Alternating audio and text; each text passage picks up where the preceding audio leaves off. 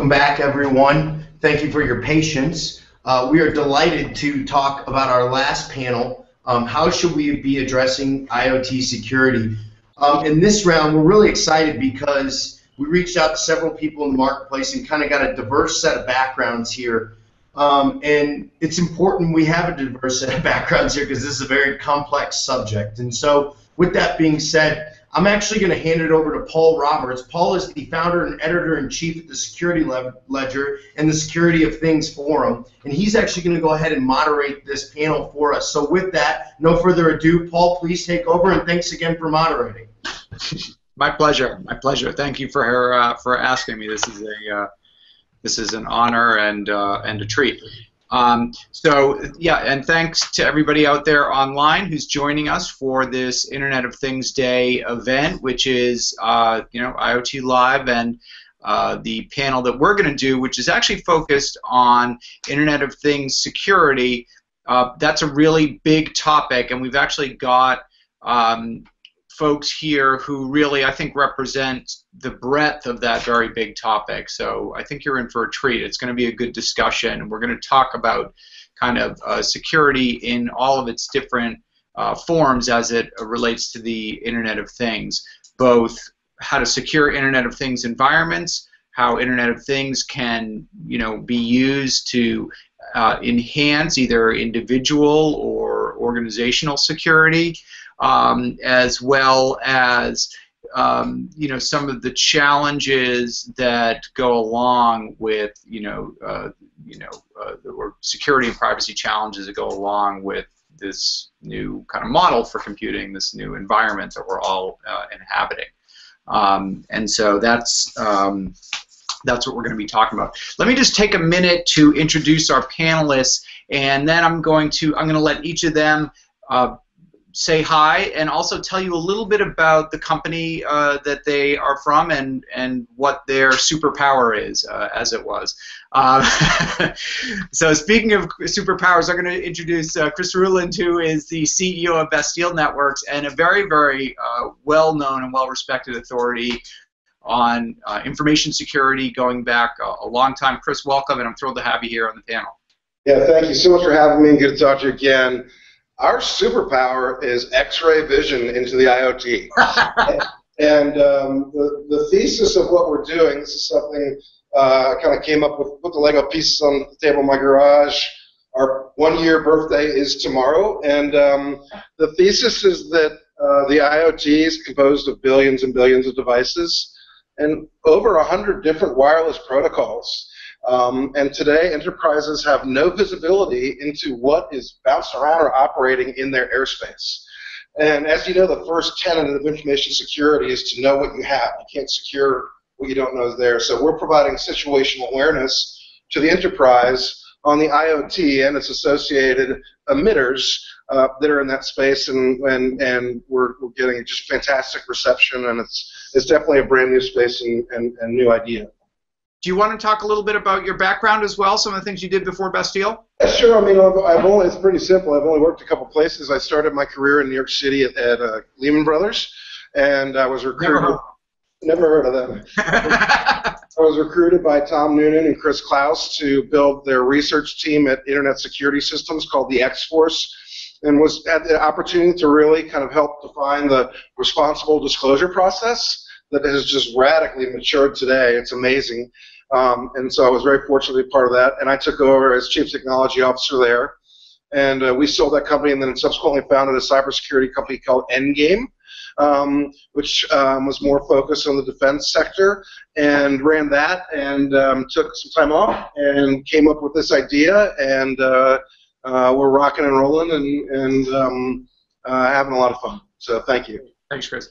Okay, Charles uh, Wheeler, you are the um, senior developer of operations at uh, uh, Brivo. Tell us a little bit about Brivo. Sure. Uh, so Brivo is the uh, largest access control provider in the cloud, um, and that that's sort of our superpowers. We're bringing uh, cloud architecture and cloud computing to the physical access control space and allowing people to control the security of their buildings contextually. So your lobby or your innovation spaces or or public areas don't necessarily have to have uh, the same level of control as you know the private offices, and you can increase or decrease uh, the level of access uh, to various people based on the, the situational needs. Um, we've been doing this about 15 years. Uh, my background prior to Brivo uh, was I spent a few years as uh, IT operations Beltway Bandit, uh, working for various government agencies and contractors. Um, the last five years were at the White House Data Center, uh, and uh, then I got hired on at Brivo to do their IT security and data privacy work. so it's a, a, great pleasure to be here, and definitely heard of Endgame. So that was a like a nice connection blast from the past. Thanks, guys. Right. Uh, and Brivo's been around for quite a few years. I mean, you you we're been around about yeah, which is a yeah. Brivo's been around about 15 years. We got started in 1999, um, and our our first real you know commercial success uh, was in mm-hmm. 2002 with a building access control panel, and um, you know to us it seemed like a pretty simple innovation, but the idea that you can take the data for your building card holders, for your uh, for your doors and cameras and, and you know access points, and store that off-site uh, in a way that is more secure, more reliable, and faster than you know building your own stack. Right, right. Um, okay. Do we? Uh, I I uh, I don't think we have Don with us uh, from uh, Revelar, yeah, or Revolar yet, but uh, hopefully he'll be joining us shortly. So um, it's going to be the three of us. Um, why don't we start off, um, which in some ways both of you guys are very, uh, both of your companies are enterprise focused, albeit in, in different ways. Um, why don't we start off by talking about uh, this Internet of Things space? I see a really big um, uh, kind of split between what a lot of people think of when they think of Internet of Things, which is kind of the consumer space, and um, you know, Charles, maybe you're a good person to talk about this. What many organizations have been doing for a long time, which is connecting and starting to instrument aspects of their physical environment, whether those are manufacturing and, and mining and energy companies or just you know enterprises with you know environmental controls and things like that. So um, you know, Brivo's been around since 1999 under different names. Is this really? Are we? Is there anything really new going on here as you see it? Sort of. So I think what is uh, what's really new in the space is the amount of data that you can gather uh, and the number of sensors that are available. The the real innovation is the fact that we can we can now measure things and control things in a way that we couldn't before. Um, using technology that in previous years might have been considered consumer tech. But as you mentioned, for you know for a long time there have been uh, industries that have been trying to get to gather this data and developing sensors and systems within the industry, within that individual company, um, such as within a manufacturing plant or uh, trucking and transportation right. logistics is another one, where any data point that you can gather helps you to run your business more efficiently. You know, where are your trucks? How fast are they going? Uh, you know, how much fuel are they using per mile if they follow a particular route versus another route. And what we're start, starting to see trickle down from a very large enterprise level to sort of the small and medium business is is the desire to have that data and improve uh, the efficiency of your operation using sensors that are now much more affordable uh, and open source or off the shelf software to help you make sense of all that information. Um, I think the the big innovation in the next couple years is going to be in the hardware, much like it was uh, maybe 10 years ago with mobile. But shortly after that, we're going to see another jump uh, in the ability of software to help us make sense of that information. And that, um, I think, that's where the the security of the security products and the security models that we adopt for the IoT devices is really going to make a, a big difference. Okay. And when you say the advancements are going to be in the hardware, what do you mean by that? What What are you referring to specifically?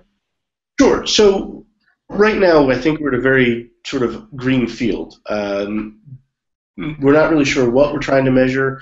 Um, and there's not a lot of uh, there's just a lot of space in which people can operate. And so folks are in garages, they're in small startups, they're in uh, you know, they're in their own labs going out and they're creating new sensors to measure things that we couldn't previously measure, or we're using existing equipment in new ways. Um, for example, one of the things that Brivo is working on right now is the ability to use mobile phones or wearable devices as an access control, control credential. Instead right. of carrying your ID card with you, why not use a Fitbit right. or use your mobile device? Uh, right. So that's what I mean when I'm talking about hardware. Okay. Uh, Chris, what you um, you obviously were involved with um, ISS and and it was kind of an early player in um, in the IT security space um, uh, around threats, threat detection, um, and so on. Um, what do you see as um, the, the, impediments or the uh, the um, irritants of that that the Internet of Things is going to create for enterprise, you know, for rank and file enterprise customers. Um, you know, again, if the threats so, ten years ago, so, yeah, uh, email-based malware uh, and um, uh, you know denial of service attacks or uh, the, or brute force attacks what is how does the Internet of Things going to change the uh, conversation within the enterprise around security? Vint Cerf just an event here at Georgia Tech, and that made a very provocative comment. He said, uh, "I'm not worried about hackers. I'm worried about a million Samsung refrigerators DDoSing Bank of America." And uh, I thought that was that was that was that was a, a, a strong comment. Although I personally don't agree with it. That there's a risk if the refrigerators are going to shut down B of A. Um, the um, you know, in IoT security, we're very early stages, and it means there's opportunity for innovation on the security side. Um, and we're seeing a, a, lot of errors. The quality of code we're seeing on these embedded devices is 1980s, 1990s grade, right? FTC Ramirez is going after these companies that are making stupid mistakes, like leaving shared keys in Snapchat. it's unbelievable that these errors are being made. And if, if, if so I use the number 50 billion devices by 2020. So let's say they're about 1,690 days till 2020. That means that 15 million IoT devices have to be deployed per day. Right. And there's no way to do that securely. Right. Um, we have not seen a watershed event, I think. So one big water, certainly the Robert Morris worm was a big watershed event in 1988. The, the big watershed event we saw in, in, corporate security for antivirus on mail servers was Melissa, right? It didn't really do any damage, it just shut everything down. And the next day it became mandatory. I think we'll begin to see wearables become mandatory or opt-in uh, because of the, the great insurance breaks companies will get. Then we're going to have a very interesting data privacy challenge. Okay, now my employer knows a lot of personal information about me that they did not have before. What happens when that is compromised? Additionally, while the MDM space has done a good job on devices that, that, that their, their employees will allow them to install software on, but of the 50 billion devices we're talking about in 2020, maybe a third of them can run an agent. So you're talking about two-thirds of them being very small embedded devices. And my last point on this if there are 50 billion devices out there active, my Fitbit is on software version number 64. How many patches per year? It's in the trillions. So the BigFix guy's got to do another startup to, to create, create a patch business for all these billions of devices. That's not the problem we're trying to solve. I hate patches. So what? Tell me just a little bit. So Bastille's customers um, are the are the organizations who are thinking now about securing IoT. Um, the companies you would think of, so companies in retail or manufacturing or heavy industry that have huge um, install base of connected equipment, or are they um, you know, financial services and and uh, some and and banking, where they're kind of looking more down the road, uh, or healthcare, for example. Well, typically FinServ is the early adopter in new in new security technology, and they're good to work with because they'll, they'll work with a, a startup like us and help us grow our technology. Um, and um, and they are concerned about what is in their airspace, what what, what is coming in and out of their building. Right. You know, it, it did a 4G hotspot open 40 megahertz of bandwidth at 2 in the morning in the data center. Right. That's a bad thing, right? That's a data connection. This is a very simple example. Um, I think retail will be an interesting sector. It's not one we're pursuing yet, uh, but clearly after last year, with, with five companies in the $100 million club, um, we're going to see increased spend in retail. Um, but um, so, you know, at the end of the day, though, Paul, there is no line item budget for IoT security. And so that's what we're trying to create awareness for for next year to Right. create an IoT budget line for security. How much of an overlap is this, though, with the wireless security issues that companies have been dealing with for a while? That's a great question. Well, my position is that the IoT is not Wi-Fi. Most companies have done a good job with Wi-Fi, but most IoT uh, uh, devices don't need the bandwidth or power of, of, of 802.11n or AC, so they're using BTLE, E, they'll use Thread, they're using custom ISM protocols. When we read documents like this is a custom protocol or we feel it's complex enough it won't be reverse engineered that's a red flag to me saying it's vulnerable and so and so um, i think that the industry over the next several years will settle on thread which is a open source version of 6LoWPAN Okay. um, but it will still be um, Ofcom, which is the UK FCC, is allocating an entirely different frequency set than the FCC. Right. Uh, We're not trying to solve a Wi-Fi security problem. We're trying to solve what's in the entire electromagnetic spectrum in your office. Right. Why is that a problem that uh, in one country you would have uh, one bit of the spectrum allocated for IoT and in a different country uh, a different part of the spectrum? It, depends on your approach. So our technology, and I don't, I'm not to, I don't want to pimp ourselves, but our, our technology basically scans the, the the full spectrum, and so that means we can operate in different countries. We don't care what bands are allocated. But if you if you take an ASIC and you you say, okay, we're gonna this is gonna support the uh, U.S. Uh, frequency sets, and it's not gonna you're gonna have to make a new one for Europe. Right. Ours we just push a software update. Right. Okay. Okay. Um, and I should remind the audience, we've got a bunch of people who are watching this, that we are taking questions. We're going to leave some time at the end of our um, discussion to respond to your questions. We've already had a couple people ask them.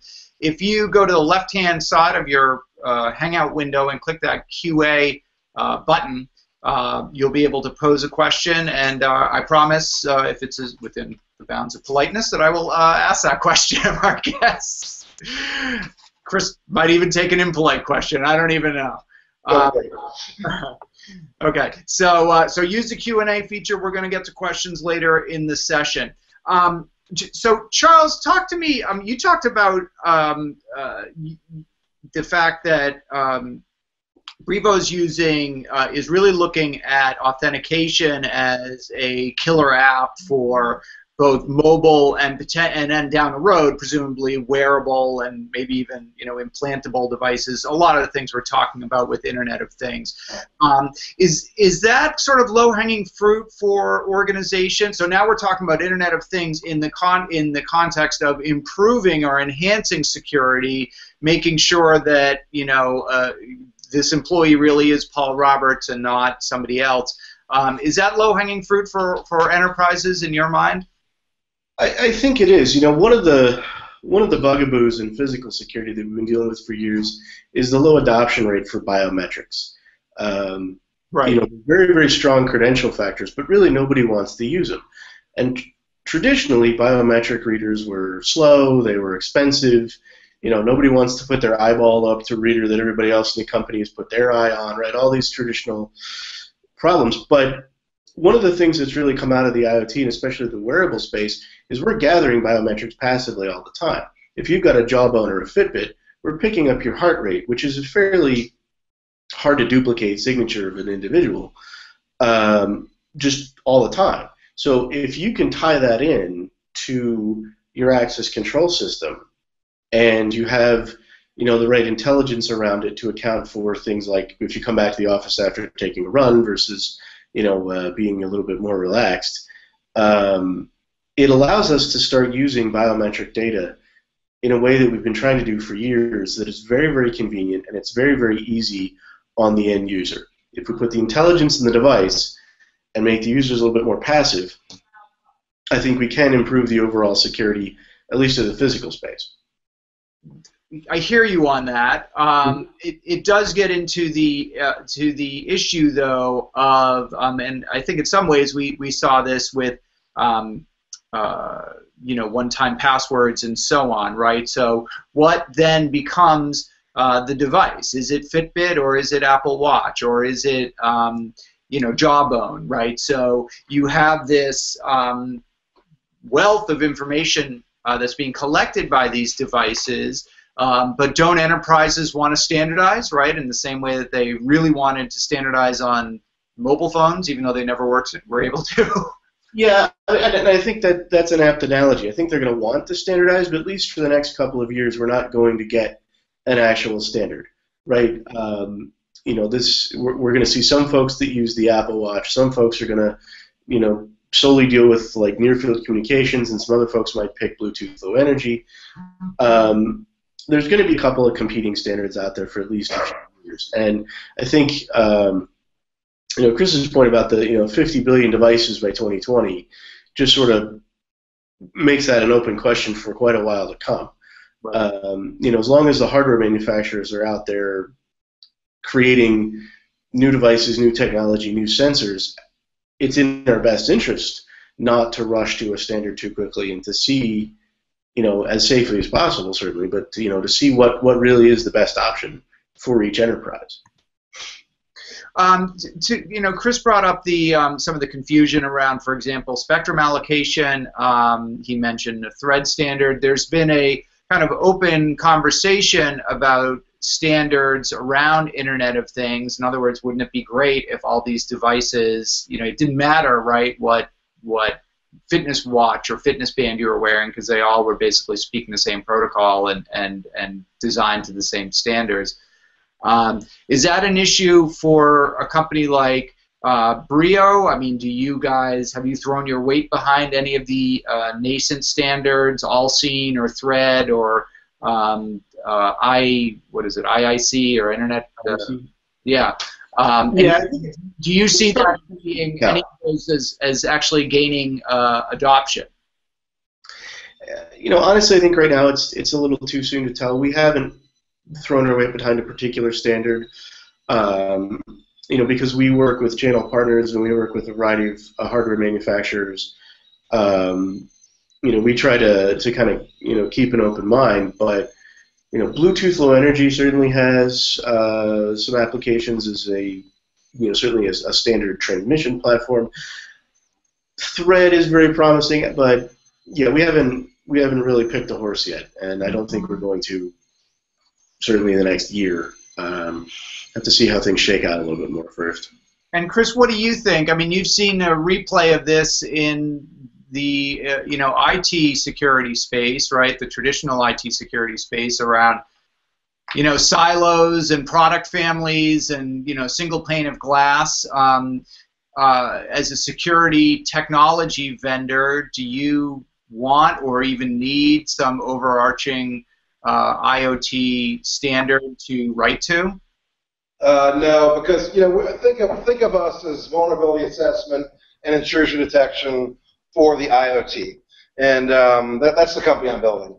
Um, and to date myself, so I know how to install a Banyan Vines network. I can install a Novell IPX network. I can install an NIS network and NFS network.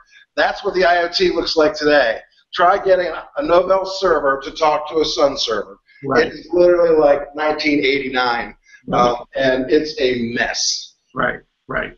Um, and I mean, do you think uh, is it going to be the same evolutionary process that we saw with you know traditional uh, uh, IP-based networking, where I mean, who knows? You know, if Novell had won, we could all be running IPX today. but, but, but TCP IP won, and and um, and it's I'm, I'm glad it did. Uh, and so um, but you've also got devices that have been in data centers for 10 years that are still beaconing out Zigbee. You know, who's going to go upgrade those? Uh, so you got you got industrial control protocols that are part of the IoT, like it or not, that aren't getting upgraded anytime soon. I mean, these guys have 10, 20 year duty cycles, right. and they're vulnerable. Right. Um, what do you? Um, one of the things that strikes me is that that we're used to when we talk about security uh, in the context of, of traditional IT security um, that you know we talk about servers and laptops and desktops um, as being the types of devices that might be affected by security issues that might be hacked into or, or you know knocked offline. Um, it seems to me, or it strikes me, that in the Internet of Things context, those conversations become a lot more um, personal and important. So, for you know, Chris, you mentioned the spamming refrigerator.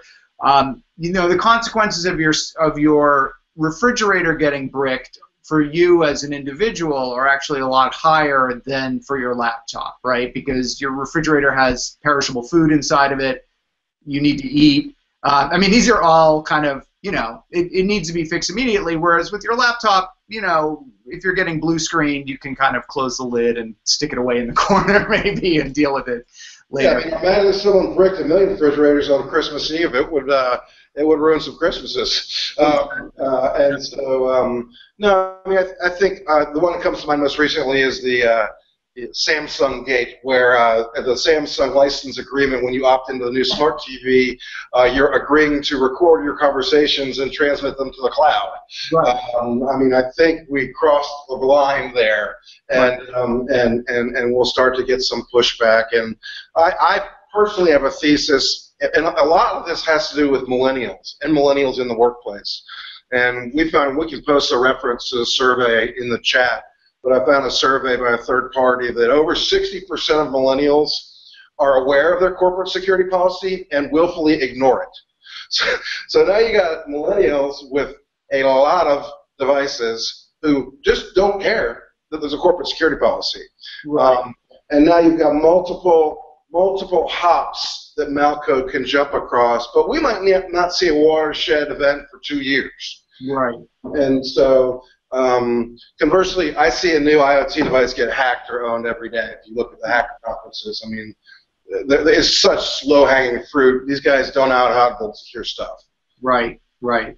You know, Chris, I remember like you know with with again with sort of traditional enterprise IT, it was you know there was uh, that awareness kind of came on the tail of big incidents. So I mean, you mentioned Melissa, that was one around um, you know email based you know viruses. And then you know SQL Slammer was another one you know where people realized oh my god you know we've got all these SQL servers that are exposed. We've got SQL embedded in some of our desktops that, that, that thing is still bouncing around 12 years later. Right it spread all over the world in like 30 minutes. Um, so, I mean, to the extent that we're on the cusp of this Internet of Things, I mean, what do you what do you think? What's going to be the SQL slammer for the Internet of Things? What is the problem that people are going to have their attention riveted on, kind of by necessity? Um, well, I mean, we're we're in a different world today. So, you know, in the 90s and early 2000s, those references you meant you, you rep they were not for profit, right? They were malicious, but they were they no one made money. And I think the trend today is for malicious code to generate a profit. You look at, at BitLocker. So um, so you're let's say 10 years from now you're driving your Tesla and uh, God forbid you don't have a pacemaker, you get a pacemaker. You get a little jolt and a text message on your screen saying wire me 50,000 bitcoins or I'm disabling your brakes and turning off your pacemaker. Um, you're probably going to pay. And so I do think we'll see ransomware um, around the IoT in the future because it's just it's the current trend. Right. Right. And, and those guys can make money faster than the good guys can. Right. Right. Well, and to my point, you know, um, uh, you, you have control over things that are intimately part of people's lives. You know, their stove or their refrigerator. That that's actually a lot a lot more um, intimate and valuable to them necessarily uh, maybe than their than their laptop. Um, Charles, what um, you know as as Brivo kind of um, looks at this space that's evolving, let's say it's the sort of IoT in the context of the enterprise. Um, uh, in the in the context of enterprise security, what are some of the opportunities that you guys see for um, leveraging, as you said, some of these, you know, inexpensive sensors, um, you know, uh, commercial off-the-shelf software and hardware, um, and how do you deal with the issue that Chris brought up, which is sure, it's easy to cobble these devices together and make something new that's cool. It's harder to do it in a way that really holds up to the standards of you know craftsmanship and security and code quality that you know a, a corporate customer is going to expect. I think take it a couple different ways. Chris's point, I think, is a very good one, but in both of the sort of technology watersheds that we've seen in the last few years, both with the LAN WAN networking in the 90s and then the mobile devices in the early 2000s. Right. None of those technologies for the first four or five years were really up to standard with the existing technology. It's going to take a few more years of growth before the IoT companies are big enough, are mature enough to provide the code quality that we see right now right. from, say, Apple, right, or uh, you know a large uh, software shop that's an evolutionary path that we seem to you know restart every 10 or 12 years. Um, and I, I, think we're going to follow very similar lines. The thing that we can do from the enterprise side is to pick the right partners. There are a lot of sensors out there. There's a lot of new software. There's a lot of new applications for those sensors and software. We can help pick winners and losers based on which are the best quality products. But we have to look at data security as a mm-hmm. product, as part of the offering, and not as a, a cost center or some kind of a liability. To, to kind of riff on something that Chris said a few minutes ago, the reason I think a lot of the millennials, at least the folks that we work with, have trouble with corporate security policy is often because that corporate security policy hasn't been updated in the last seven or eight years. And so it talks about things like Blackberries and personal data assistants. And you know, if you're connecting through a wired, you know, LAN through a firewall and a traditional perimeter to the internet, well, no, they don't follow that policy because, as far as they're concerned, it's outdated and doesn't apply to them. Sure. As we've, you know, I think from the one of the things that we'll have to accept is the fallout of the 2014, you know, the multiple corporate hacks that we saw, is that data security really starts at the top, and if you don't have good buy-in, good partners, and good a good security program from the C-suite, you're never going to really get true information defense. You, you have to treat this the same way you treat your accountants or the same way you treat your legal department. You got to hire professionals. You've got to give it the support from all the business units or it's never really going to be effective. And the, and the implications of making of not taking it seriously are going to be much greater uh, as IoT expands. Okay. What are some use cases that you see in your customer base um, around, um, you know, uh, IoT and some of these issues where we're starting to move beyond conversations about what we would all recognize as kind of traditional IT environments and really starting to address uh, some of the issues that the IoT raises. Sure. One of the one of the first things is uh, we already have customers that are attempting to integrate IoT hardware into their access control platform. Okay. So they want to replace their traditional smart cards or access cards with mobile phones certainly, but also QR codes or you know the Pebble Watch or you know some other device to provide that access token.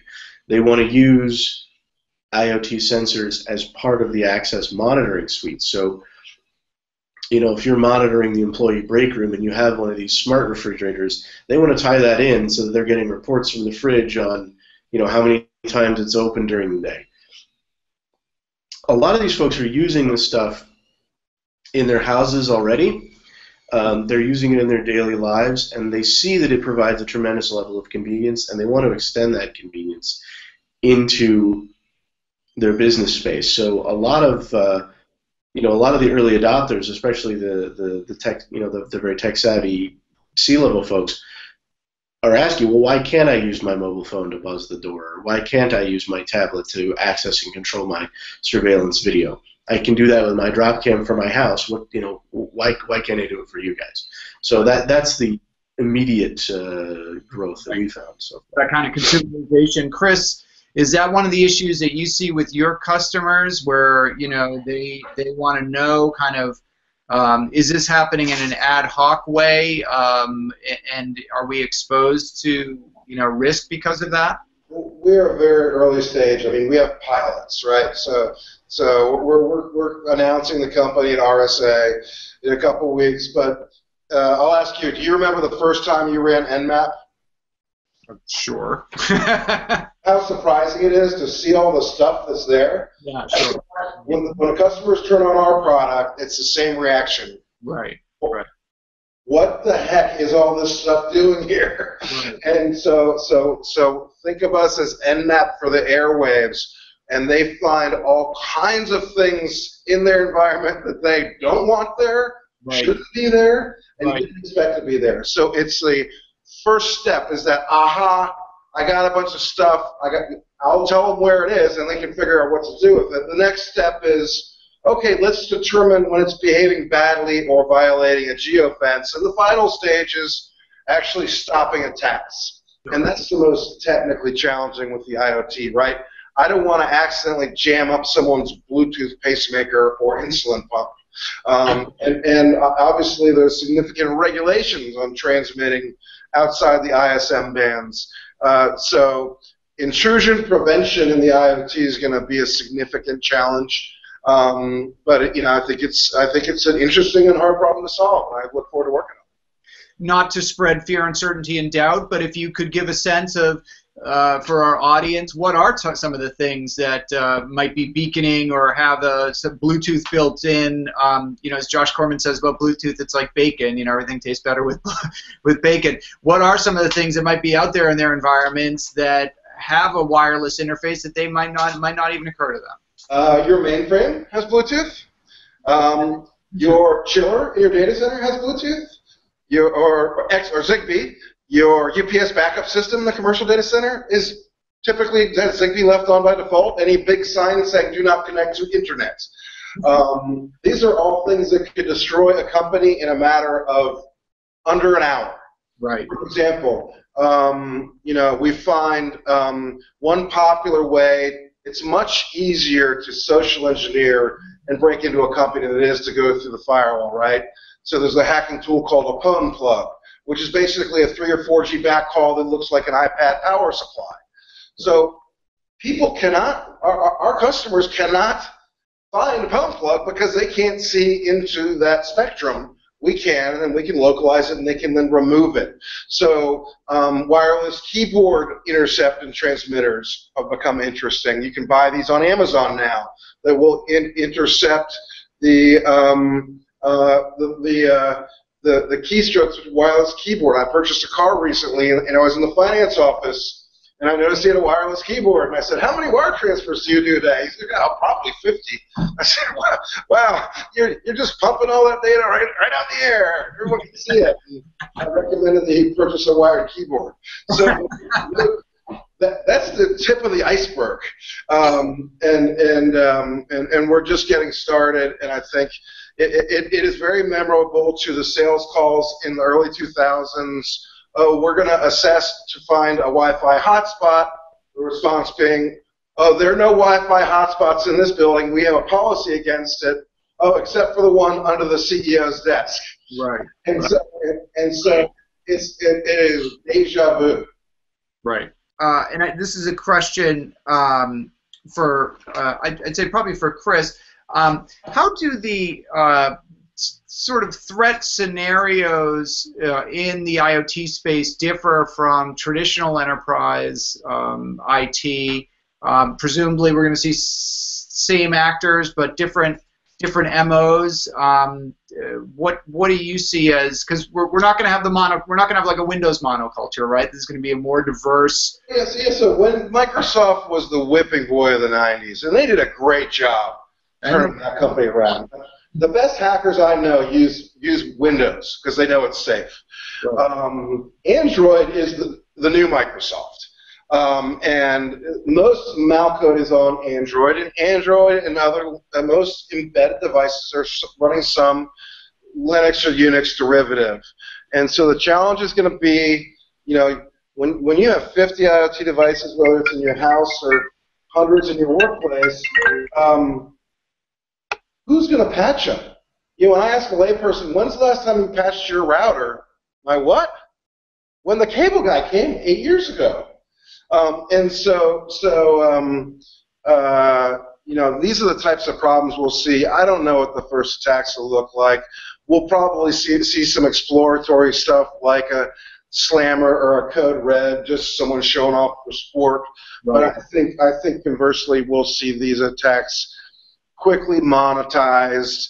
You know, I got a little antsy yesterday when the White House lost power. I got a little antsy last week when Turkey lost power.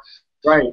I don't know if we're able to get the whole story, but you know, my first response when I see something, the White House, the State Department, and um, other key buildings in D.C. lose power is, wow, it's happening.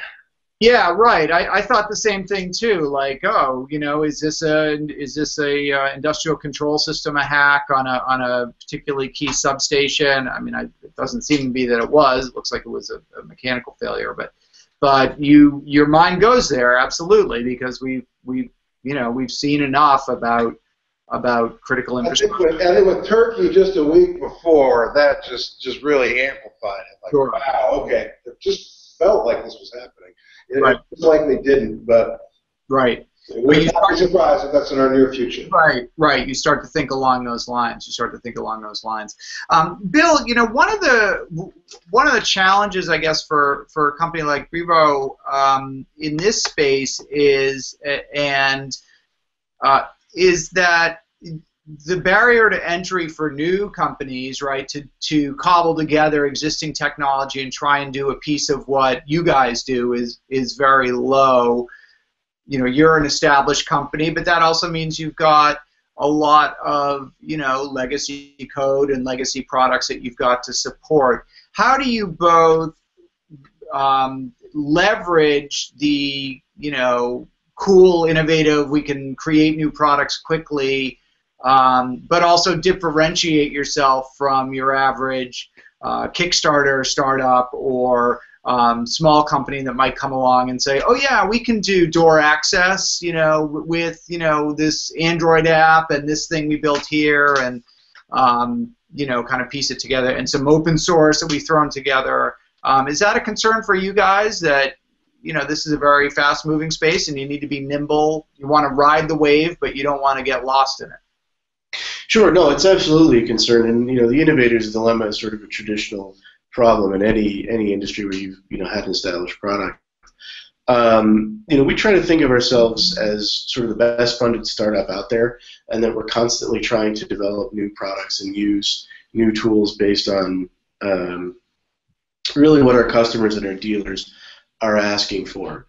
Um, and you know, we will not hesitate to you know embrace new technology, at least in a trial basis or you know pilot program. And we've we've got multiple pilots running right. uh, concurrently for new space. But you know the truth is, if I look at it from a, a an internet or just a general security standpoint, even if we lose a particular race to a smaller startup, if we can improve the state of the overall industry, that's okay.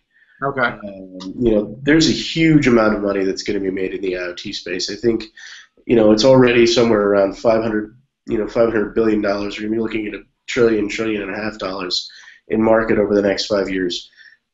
That that's a lot of you know that's a pretty big sandbox for us to play in. So you know we're we're happy to share. Right. Um, what, and I want to remind the audience we are going to be taking questions uh, at the conclusion of our talk, probably in a couple minutes actually.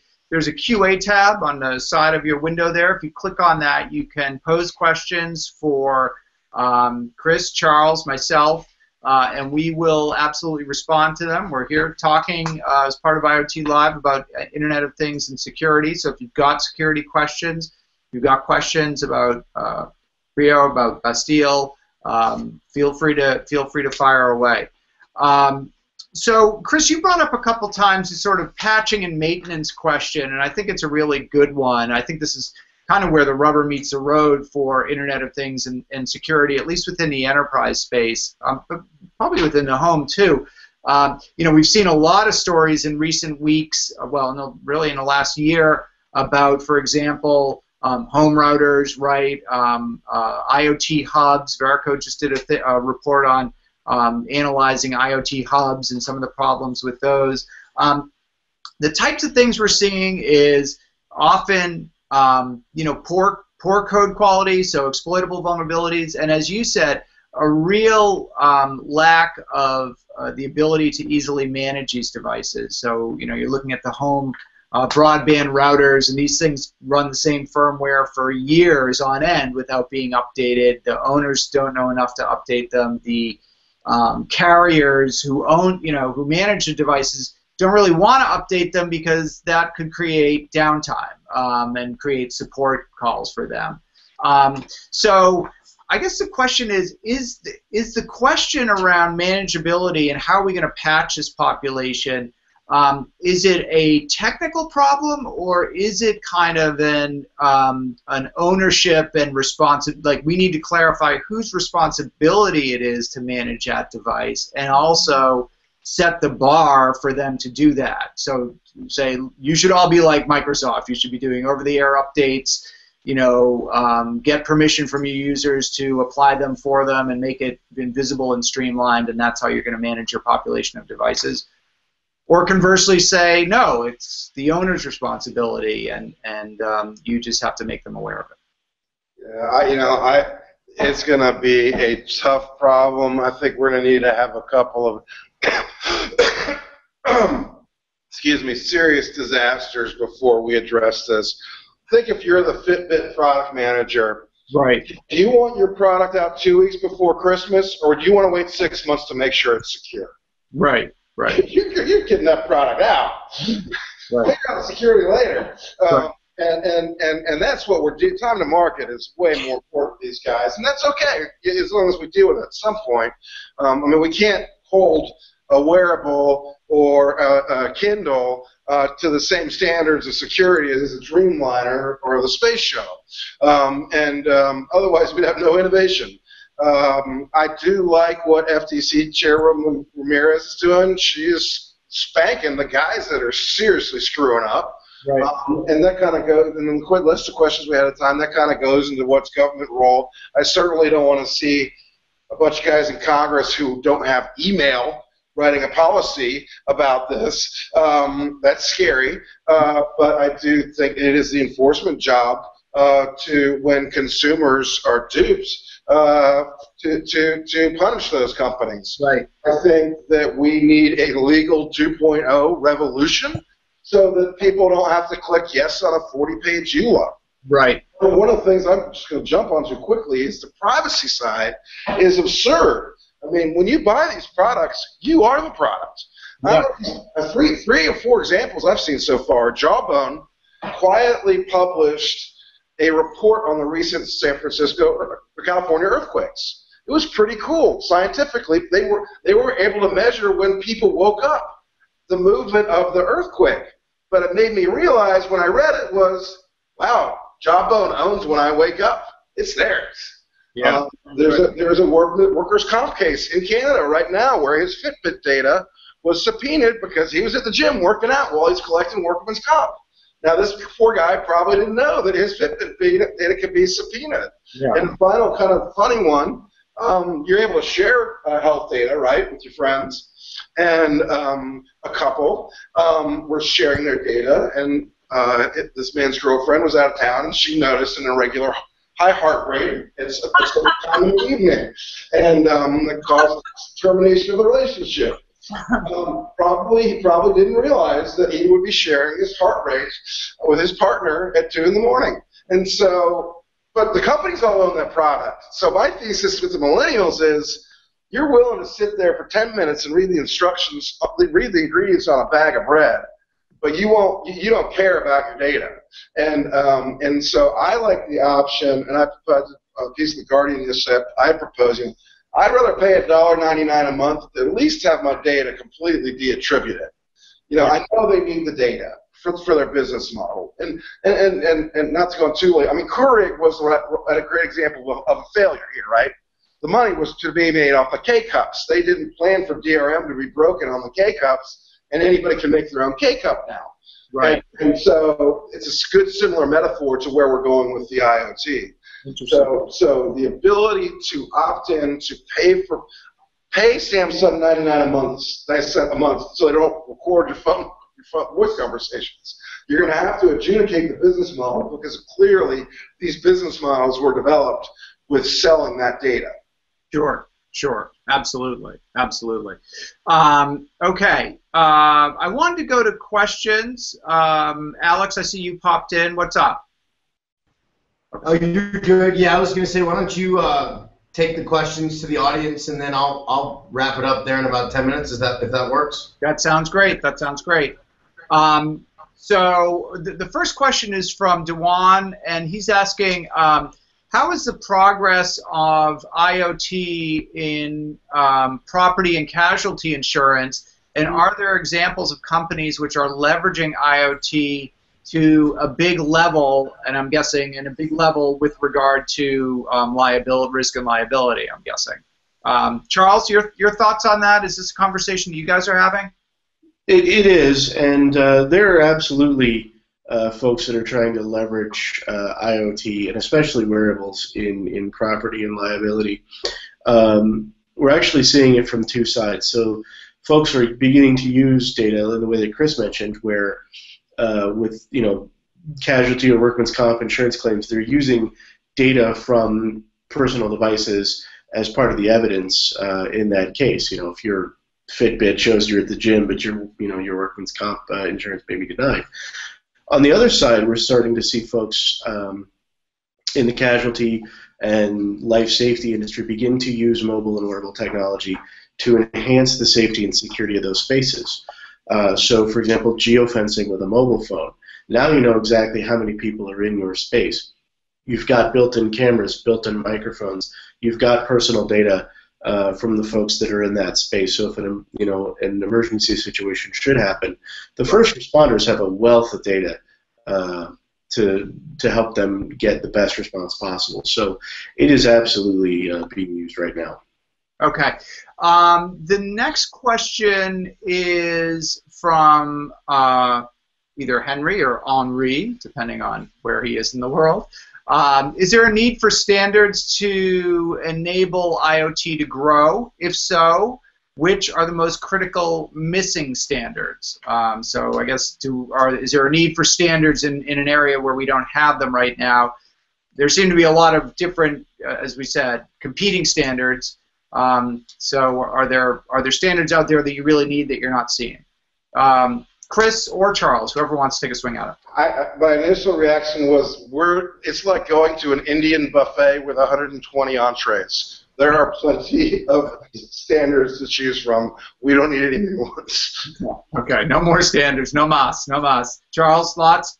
Yeah, yeah, no, pretty much the same thing. I think you know we absolutely need a few, a smaller number of standards. What those are going to turn out to be is largely going to be determined by the industry. I don't think anybody's going to sit back and wait for a government agency to decide that you know this is the standard. Yeah. Uh, it, it's going to happen organically. Right.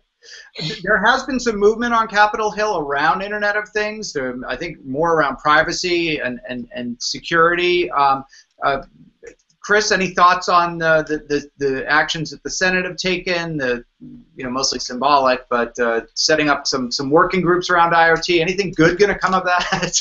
It kind of when the government gets involved in software industry, it makes me nervous. Um, you know, until we get some millennials in office, I mean, how can someone who's never written an email uh, draft uh, IoT policy? Um, so I know the staffers do most of the work, but um, uh, you know, I just hope they're not too restrictive. Um, I do think, though, the uh, consumer privacy is one that well, they can address, and I think they've got um, an organization in place, FTC, that's got teeth to help with that. But to go out and if they mandate that IoT devices must be must be secure, I mean, that's not going to happen. Okay. Next question is from Ryan. How should an IoT device developer best go about offering security upgrades for their devices? Do you recommend a forced push of updates or user opt-in for updates or a user pull model for updates? I'd say forced updates. Uh, users don't want to think about it. Okay, Charles, thoughts? Yeah, I, I mean, I would give the, you know, I would at least nod towards a user opt-in model, but failing that, forced push. I How do don't you guys update your door- consumers to pull software updates. They're not going to think about this stuff. It's going to be up to the manufacturers to deploy the updated software when it's ready. Okay. Good question here from the audience. What are some misconceptions about security as it pertains to IoT? Is there is the team that should own? Okay, so that's one. Um, so what are some? Well, forget that. That's too broad. Um, this is a better one. Is the team that should own security for IoT for an enterprise up to the task today? Um, and I guess I would add to that, which team should own I, uh, security for IoT? So is this IT? Is it operations? Is it you know who? Where does that responsibility lie, and where should it lie? Um, Chris, do you want to take a swing at that? Yeah, uh, so I have a long vision on this. Ten years ago, you remember, we actually had a phone guy, right? There was a phone guy. It was responsible for the phones. There is no phone guy today. We don't even have a phone here. Um, there are PR people are making us buy one for interviews, but Hey. that's it. A hundred years ago, you had an elevator guy. You know. Yeah, so so so the elevator guy's gone, the phone guy's gone. I think we will see a mashup of the, um, and I'm gonna I'm gonna plagiarize the elevator, elevator guy from you. The um, I think physical and cybersecurity over the next 10 years will become a common function, um, and um, uh, but you know we're, we're dealing with this will be in the in the CI, in the CISO's office. Um, and the first step is for them to find tools to scan and assess their environment. They honestly just don't exist today. We're building one, but you can't just go out and buy buy a, a security tool to, to secure your IoT yet. They're just the, the market's not there yet. Yeah. Right, Charles, thoughts? Yeah, we're actually spinning off uh, IT security and privacy from the IT operations team for exactly that reason. Um, it's it's become too specialized and too divergent from general IT ops to, to be handled on the same team anymore. And you know, from the privacy perspective, I spend as much time working with the legal team and the marketing team as I do with the IT guys. So it's it's going to be its own niche, uh, and that's going to develop over the next couple of years as well. I don't think we've got a good picture on how broad that uh, that job role is going to be just yet. Okay. I think we've got time for maybe one more question. Who will the provisioning leaders in IoT be in five years? Is this doomed for fragmentation? We're already fragmented. I think that we're going to see consolidation over the next five years. I think Chris's analogy of, of NetWare and the, the early 90s networking is entirely apt here. Yeah. We've got dozens of small players that are all vying to be top dog, and we're going to see uh, a vast shrinkage in that over the next over the next five years until we've got one or two key players that emerge. So I, I, that's a great response. I would actually answer it. I agree completely, and I would actually answer it slightly differently. So this was the first year in my life I attended both CES and Mobile World Congress, and I intentionally spent a half day in the cheap seats with the, the, the cheap Chinese knockoffs. And I mm-hmm. think in a couple years you're going to be buying fake uh, Apple Watches and fake Fitbits on Times Square for five bucks. And you got to believe they're not going to have patches. They're probably going to have Malcode on them already. So um, uh, I think there will be a serious um, issue of, of um, counterfeit IoT. Yeah, right. Yeah, absolutely. Right. And supply and you know that supply chain issue may well work its way into premium products as well, all right? I mean the, the same organizations that are that are producing those knockoffs are producing the real devices and, and that goes for the enterprise too. Okay. I think we're at the end of our time. Alex. Yeah, awesome. So first off, uh, Charles, thank you very much for joining. Um, Chris, we look forward to your announcements at RSA here in a few weeks. And then uh, for everyone who's watching, uh, Paul is really a thought leader when it comes to security. So if you get a chance, check out his website at securityledger.com. Um, you know, there's just wonderful content up there. And again, to all three of you, it's been a wonderful panel. Uh, thank you so much for uh, joining us here on IoT Live and look forward to having you all join us in the future. And if anybody out there has additional questions that we may not have addressed or that you come up with after the panel, feel free to contact me or anybody on the panel for that matter um, to get those questions answered. And again, uh, thank you to everybody for joining.